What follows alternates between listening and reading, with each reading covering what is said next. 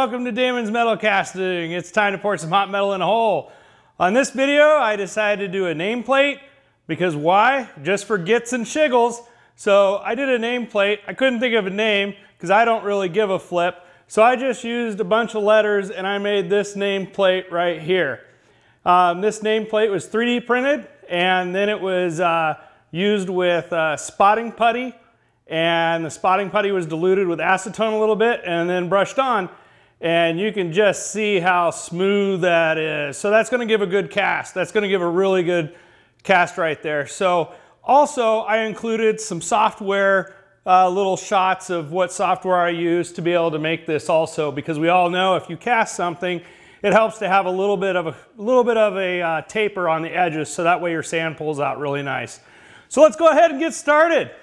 So this program is a layout program called Inkscape. The reason I use Inkscape instead of a paint program is because it gives me layers. So I can actually do lettering and just make the letters a certain color. They'll stay on a layer. And then if you look over to the right, you can actually see the alignment button. So after I put on these forms or squares and letters, I can go ahead and have it auto aligned, which you, you need or else your stuff is gonna look really wonky.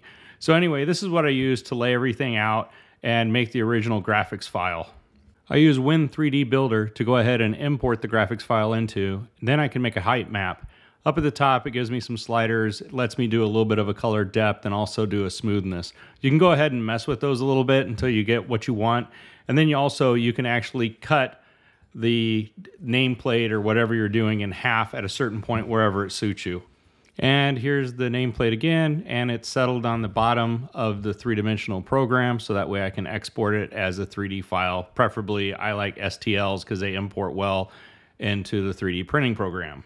I just use Cura. It's a real popular program. There's the sign down on the bottom of it, and I set my parameters for my 3D printer, and off it goes. This is what I was talking about at the beginning of the video where I put a little bit of acetone and spotting putty together and then just painted it on the surface of the 3D print. I can sand it and that spotting putty sands really well so you can get some really fine edges and stuff and get rid of the three-dimensional um, steps that you see with the 3D printer. Here's the sign again, just with a little bit of primer on it. I can sand this a little bit more and then I'll coat the top of it with epoxy. I feel like the epoxy actually makes a really great surface that the sand doesn't want to stick to. So here's the pattern all painted with epoxy. And then I'm just gonna put on some talc on it. I use talc. If you don't like using talc, you can substitute with baby powder. I just like the way talc works and I use a respirator. Also, you'll notice I uh, dramatically sped this up to uh, comply with the ADHD requirements of most YouTube watchers nowadays. So we'll just go ahead and go through this fairly quick. If you need uh, a better explanation of what's going on here, you're welcome to look at my other videos when I pack up other molds and I do it a lot slower and talk about it a lot more.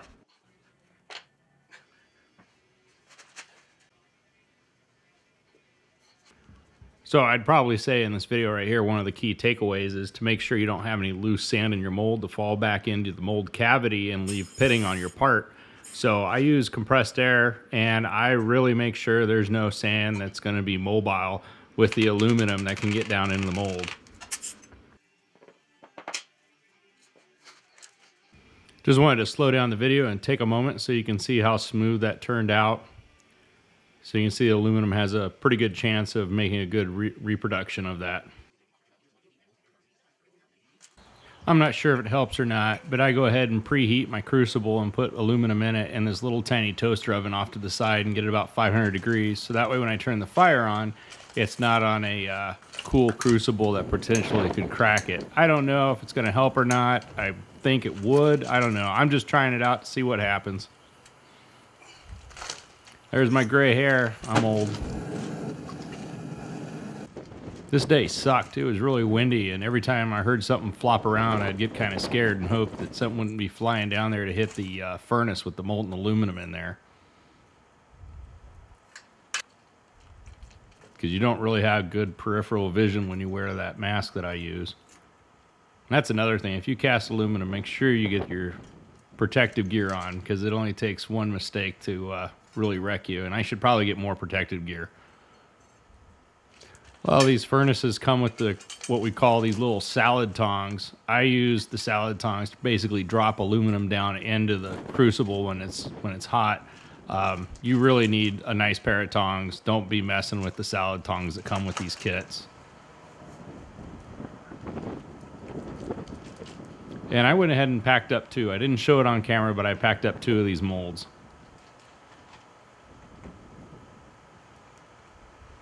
yeah, fire, fire, fire's cool. So I can pretty much tell most likely it's going to be a successful pour because I can see the aluminum come up through the riser in the back.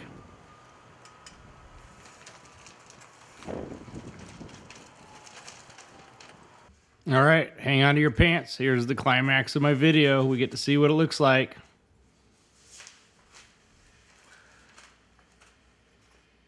Here we go. That looks pretty good. It's all shiny right out of the cast, too. And it's upside down. I'll realize that in just a second. There we go. Good job, Damon. There we go. You can actually see it pretty good. Yeah, that came out smooth. I'm proud of that one. All right, let's see if Numero Dos is going to make it or not.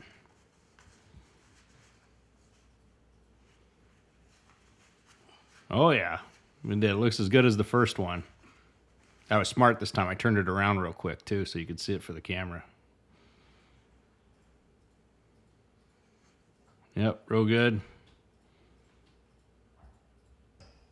Here, I'm just pointing out how the aluminum flowed through the cavity, or through the sand, whatever you want to call it. I use my mill just to cut the gates off the mold. I'm sure there's plenty of other ways to get it off, but this is easy for me. I just clamp it down to the top and then just go ahead and uh, offset it by a thickness of a paper and then just go right over it. And then I'll clean the back up on a uh, belt sander. I have a little Scotch-Brite Dremel attachments right here and I'm using a mask because whenever you use abrasives or you're grinding on metal, you don't want that stuff in your lungs. You probably will live a little longer if you take care of yourself. Yay! You made it to the end of the video. Let's check these out. This is after I polished them. So now you can get a close-up of them. Yeah, they look pretty good. The back of them I didn't clean up too well. Um, I normally don't put a whole lot of effort in that because that's the back. So anyway, thanks again for watching my YouTube channel. Thanks for helping me build a subscriber base. And if you haven't subscribed, go ahead and do that now. If you liked the video, give it a thumbs up and uh, hope to see you again. Thanks again for watching.